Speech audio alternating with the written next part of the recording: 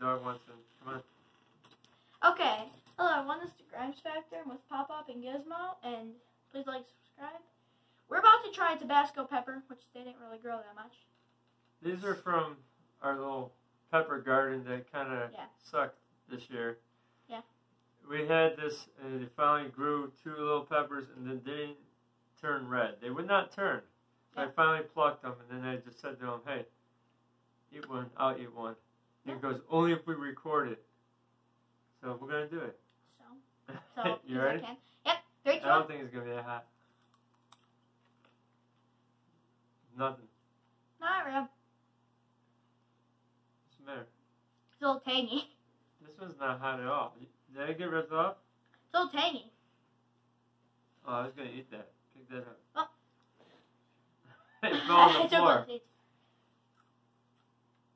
It's tangy, isn't it? It's not that It's bad. not too bad. I'm not. It's not ripe. It tastes like garbage. Yeah, honestly, kind of does. It's fine. It tastes like garbage. What a big letdown. At least I'll the dog is in the film.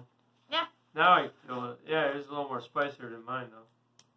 Yeah, definitely, probably, definitely, probably. What words did just come out of my face?